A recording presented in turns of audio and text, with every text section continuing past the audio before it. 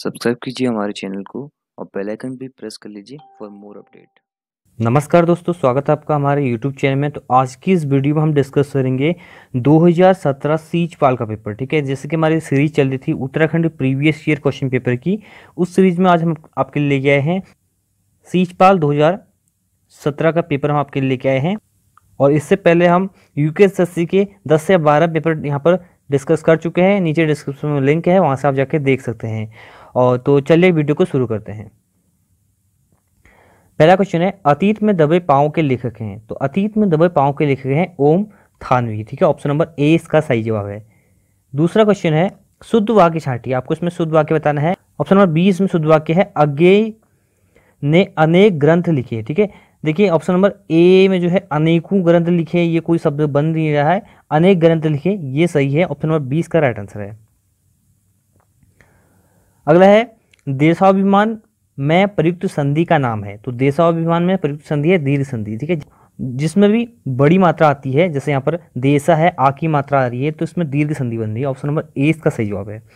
Next है, चौपाई के प्रत्येक चरण में मात्राएँ होती हैं। तो चौपाई के प्रत्येक चरण में कितनी मात्राएँ होती हैं? सोलह मात्राएँ होती हैं, ठीक है? सोलह मात्राएँ होती हैं, सोलह। आपको याद रखेंगे सोलह मात्राएँ जिसमें होंगी, अगर सोलह मात्राएँ नहीं हैं तो चौपाई नहीं कहना गया ठीक है? चौपाई के प्रत्येक चरण में सोलह मात्राएँ होती है। अगला है, शीतोष्ण का अर्थ है तो आपने सुना होगा शीतोष्ण कटिबंधी, इस टाइप का सुना होगा तो शीतोष्ण का अर्थ होता है ठंडा और गर्म, शीत का अर्थ होता है ठंडा और उष्ण का अर्थ होता है गर्म, ठीक है, ठंडा और गर्म ऑप्शन नंबर सी इसका राइट आंसर हो जाएगा। अगला है, मुहारा किस भाषा का मूल शब्द है? तो मुहारा जो है, अरबी भाषा का मूल शब्द है ऑप्शन नंबर डी इसका सही जवाब है। अगला है, उदाहरण चिन्ह का प्रयोग कहाँ होता है? ठीक है देखिए ऑप्शन नंबर सी इसका राइट आंसर है। जब किसी के कथन को ज्यों का त्यों उद्धृत किया जाए तो ऑप्शन नंबर सी इसका राइट आंसर है, ठीक है? नेक्स्ट है, जूही की कली कविता के कवि हैं। तो निराला जी इसके कवि हैं ऑप्शन नंबर बी इसका सही जवाब है। अगला क्वेश्चन है, लिंग, वचन, कारक आदि के कारण रूप में परिवर्तन वाले शब्दों को कहते हैं। तो इसको कहते हैं विकारी शब्द, ठीक है? और जिसमें परिवर्तन नहीं होता है, उनको क्या कहते हैं? अविकारी शब्द। इतना आपको रखना है। अगला है निम्न में से कौन सा शब्द देश शब्द नहीं है? तो साँझ जो है देश शब्द नहीं है ऑप्शन नंबर डी इसका सही जवाब हो जाएगा। अगला है, क्रिया की व्युत्पत्ति होती है तो धातु से ऑप्शन नंबर ए इसका सही जवाब है।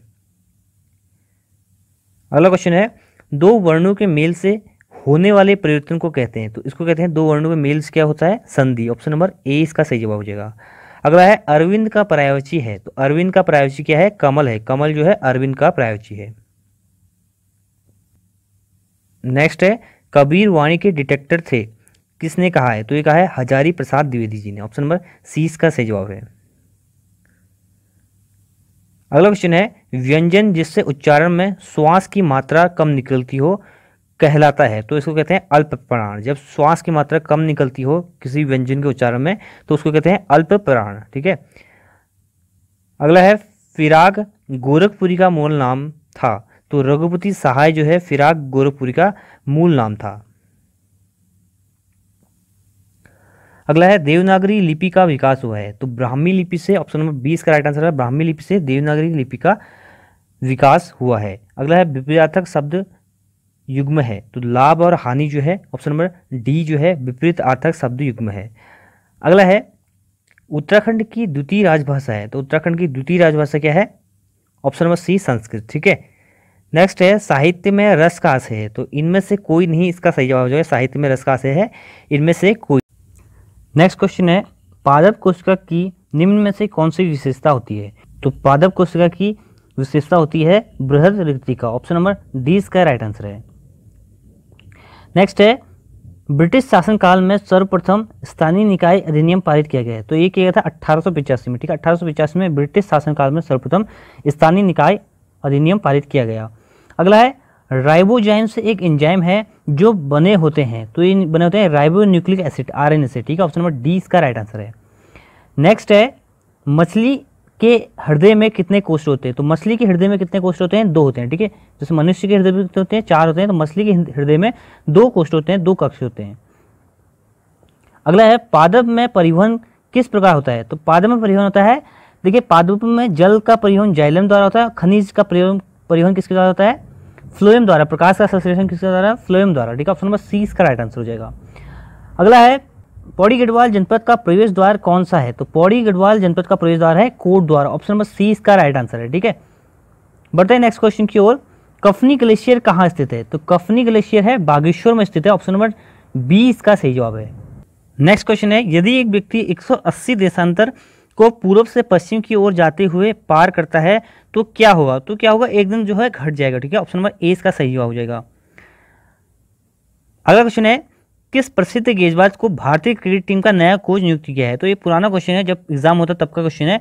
उस टाइम का राइट आंसर था अनिल कुंबले। अभी जो है, रवि शास्त्री जो है कोच हैं भारतीय टीम की। नेक्स्ट है, सर्वाधिक बड़े हिमानी निम्न से कौन है? तो ठीक है महाद्वीपीय हिमानी जो है, महाद्वीपीय ग्लेशियर जो है continental glacier option number C इसका राइट आंसर हो जाएगा। नेक्स्ट क्वेश्चन है, असोल आप प्रसिद्ध खेल है तो ये है अंडमान निकोबार द्वीप समूह का। ठीक है, अंडमान निकोबार का है असोल आप प्रसिद्ध खेल, ठीक है?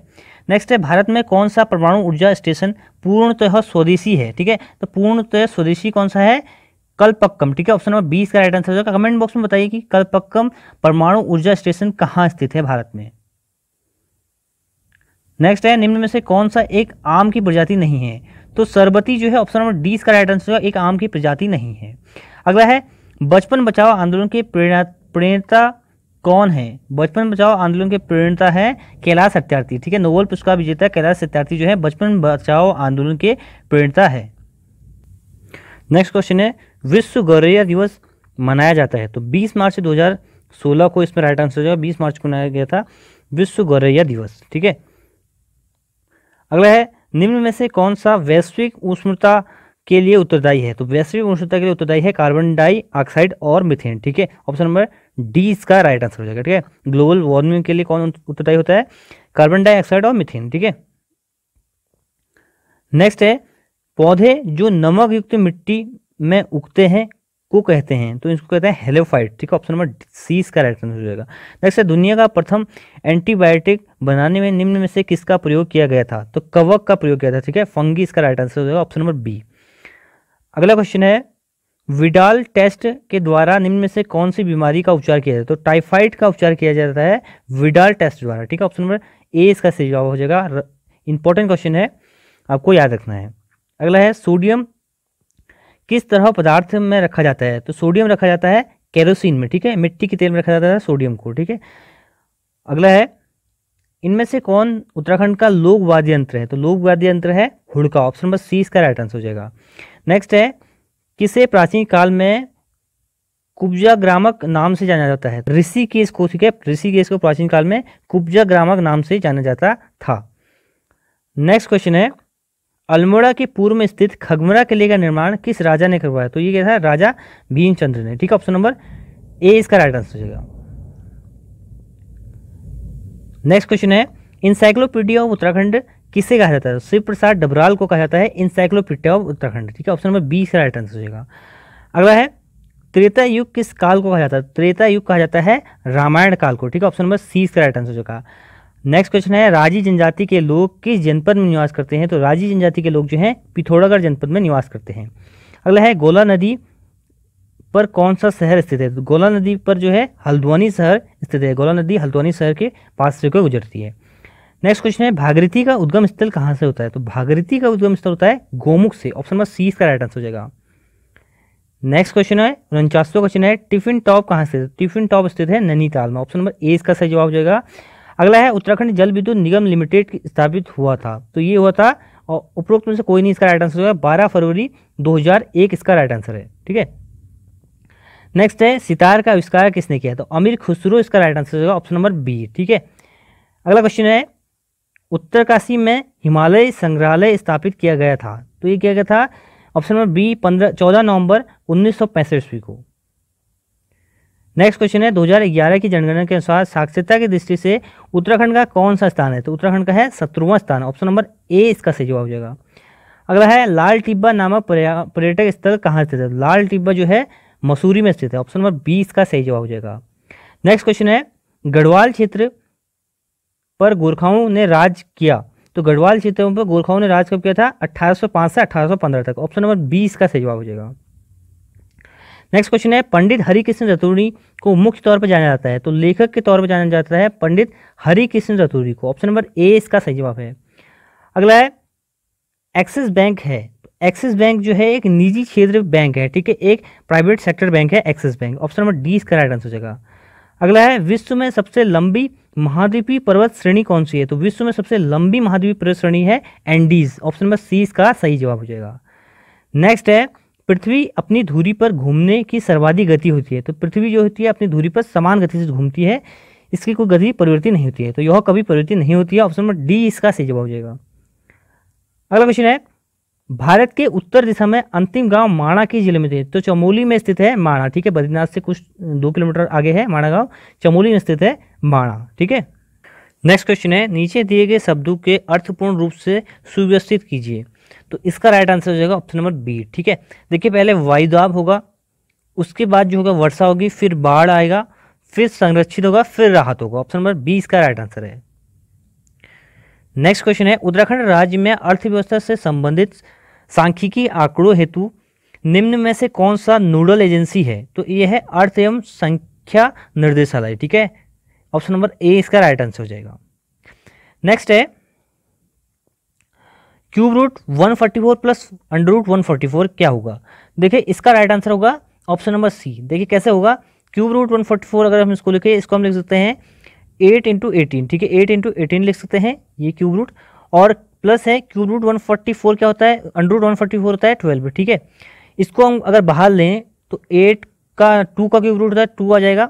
और ये आ जाएगा three root eighteen plus twelve option number C इसका राइट आंसर हो जाएगा। ठीक है नेक्स्ट है टेंडन जोड़ता है। तो टेंडन जोड़ता है, किसको जोड़ता है? मसल्स को, पेशी को, अस्थि से। ठीक है मसल्स को बोन से जोड़ता है टेंडन तो टेंडन जोड़ता है, पेशी को बोन से। ठीक है ऑप्शन नंबर सी इसका राइट आंसर हो जाएगा। आपको कमेंट बॉक्स में बताना है कि लिगामेंट किससे जोड़ता है। ठीक है लिगामेंट किससे जोड़ता है? आपको कमेंट बॉक्स में बताना है, वो भी इंपॉर्टेंट है।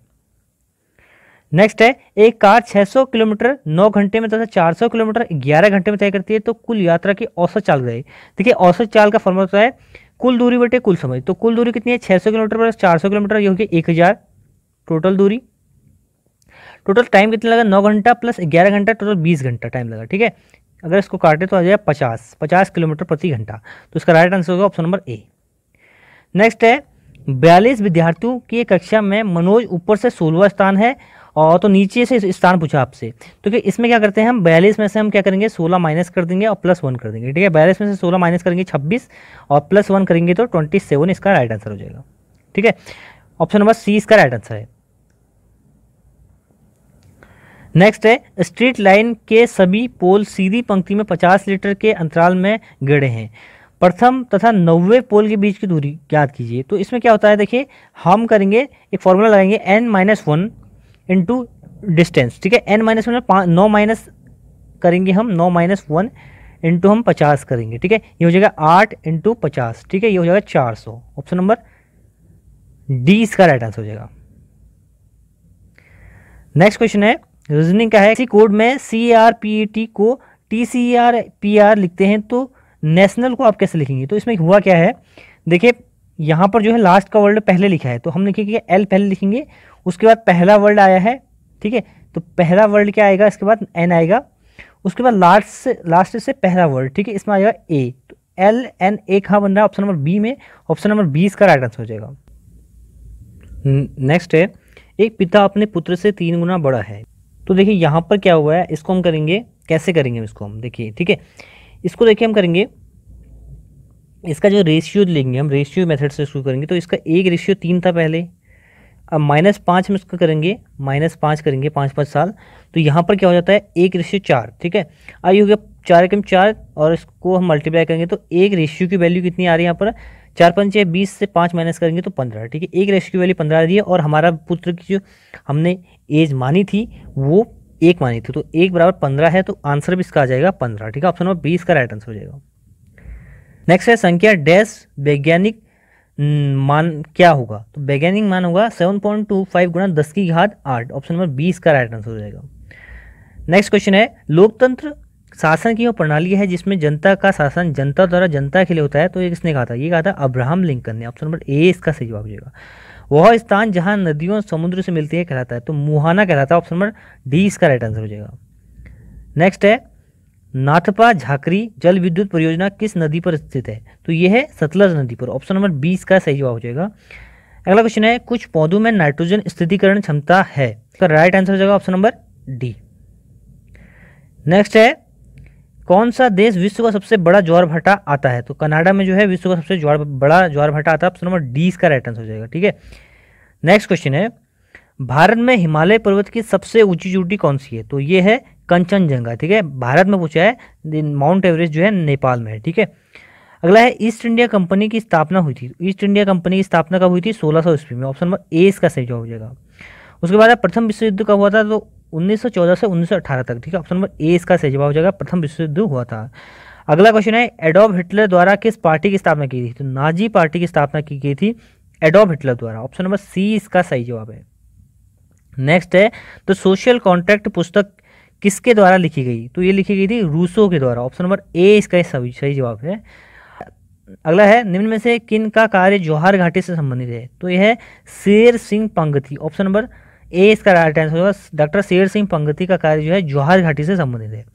अगला है, तारादत्त गैरोला प्रसिद्ध है तो ये है अधिवक्ता, ठीक है? ऑप्शन नंबर डी इसका राइट आंसर हो नेक्स्ट है, चूना पत्थर निम्न में से किस चट्टान का उदाहरण है तो अवसादी चट्टान का उदाहरण है, ठीक है, चूना पत्थर। ऑप्शन नंबर ए इसका सही जवाब है।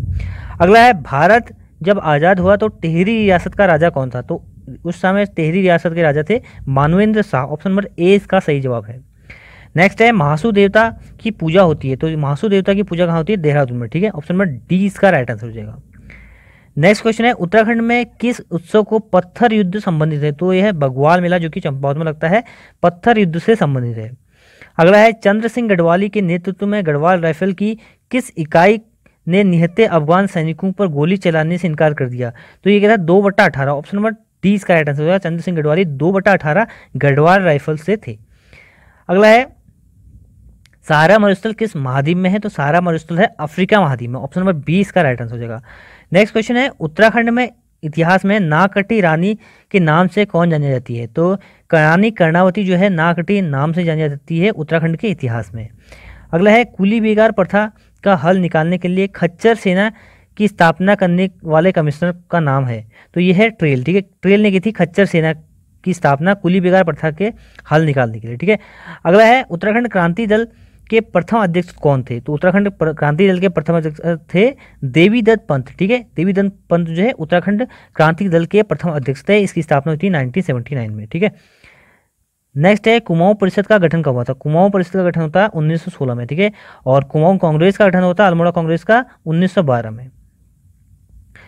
अगला है, वर्ष 2013 में उत्तराखंड राज्य द्रोणाचार्य पुरस्कार किसे प्रदान किया गया? तो ये किया गया था हर सिंह थापो को, ठीक है? हर सिंह थापो को वर्ष 2013 में उत्तराखंड राज्य द्रोणाचार्य पुरस्कार दिया गया। अगला है, किस विद्रोह को कुमाऊं का बारदोली कहा जाता है? तो कुमाऊं का बारदोली कहा जाता है सल्ट को। तो सल्ट विद्रोह को जो है, कुमाऊं का बारदोली कहा जाता है और गढ़वाल का पूछा है तो गुजड़ू स्थान है, उसे जो है गढ़वाल का बारदोली कहा जाता है। अगला है, उत्तराखंड में प्रथम बार वन पंचायतों का गठन किया गया। तो 1931 में जो है उत्तराखंड में प्रथम बार वन पंचायतों का गठन किया गया। ऑप्शन नंबर सी इसका राइट आंसर है। नेक्स्ट क्वेश्चन है मसूरी स्टेशन लाइब्रेरी की स्थापना कब हुई? तो इसकी स्थापना हुई थी 1843 में। ऑप्शन नंबर बी इसका सही जवाब है। अगला है, कनकपाल किस वंश का शासक था? तो कनकपाल किस वंश का शासक था? वो था पंवार वंश का शासक, ठीक है? ऑप्शन नंबर बी इसका सही जवाब है। नेक्स्ट क्वेश्चन है, कौशिक समिति ने प्रस्तावित उत्तराखंड राज्य में कितने मंडलों की स्थापना की सिफारिश की थी? तो उत्तराखंड में कौशिक समिति ने तीन मंडलों की सिफारिश की थी। ऑप्शन नंबर बीस का सही जवाब है। अगला है विष्णुगाड़ पीपल कोटी जल विद्युत परियोजना निम्न में से कौन सी, निम्न में से किस नदी पर विकसित की गई है? तो ये की गई है अलकनंदा नदी पर है विष्णुगाड़ पीपल कोट जल विद्युत परियोजना। अगला है फ्रेडिक स्मेटर द्वारा स्थापित तितलियों का संग्रहालय कहाँ स्थित है? तो तितली का संग्रहालय है भीमताल में, ठीक है? और कॉमन पिकॉक बटरफ्लाई जो है, उत्तराखंड की राज्य तितली है, जिसको 2016 में दर्जा दिया गया था, ठीक है? और फ्रेडिक स्मेटर द्वारा स्थापित तितलियों का संग्रहालय है आपका भीमताल में। तो ये पेपर था सीच पाल का, ठीक है, जो कि 2017 में होता और ये वीडियो आपको आने वाले एग्ज़ाम में बहुत हेल्प करेगी, इससे बहुत सारे क्वेश्चन आपके आने वाले एग्ज़ाम में देखने को मिलेंगे। वीडियो पसंद आए तो वीडियो को लाइक कर दीजिए और शेयर कर दीजिए अपने दोस्तों के साथ और हमारे चैनल को सब्सक्राइब करना ना भूलें।